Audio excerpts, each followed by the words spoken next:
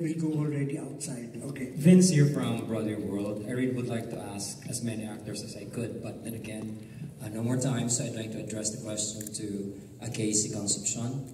If there's one thing that you would like to tell every Filipino audience why they should watch the movie, what is it going to be?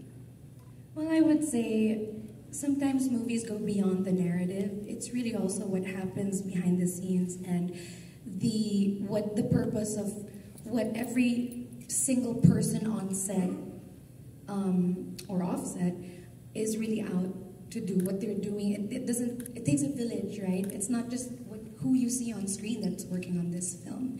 And Jhett has really, throughout the film, from pre-prod to the making of the film to post-prod until today, he's always really highlighted the power of the Asian. And they could be Asian Americans, they could be Filipinos like us, and immigrants or non-immigrants.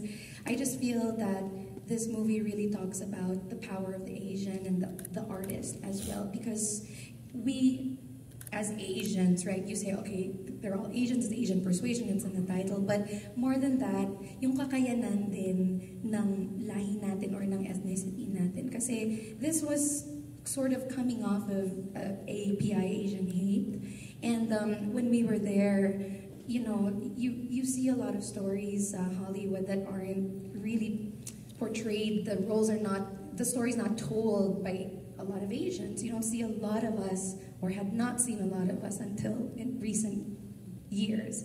Um, so I think it's more than what you see on screen. The fact that yung mga location namin were Asian-owned businesses, and of course, Filipino si Jhett, so he highlighted the Philippine, the heart of the Filipino the Filipino life, the Filipino story.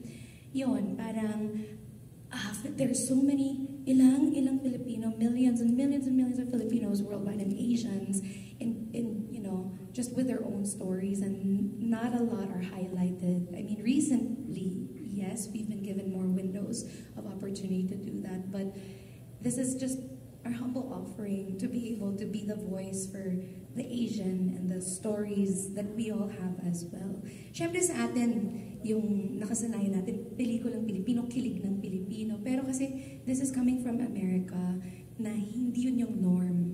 So really, nandito tayo sa Pilipinas, but the movie was conceived and created there. So yun, parang one world na tayo eh. And it is our time to tell our story and yung uh, yung Filipino was a highlight sa pelikula dahil sa producer natin.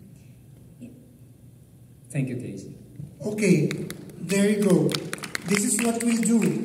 Uh, my tagline family, please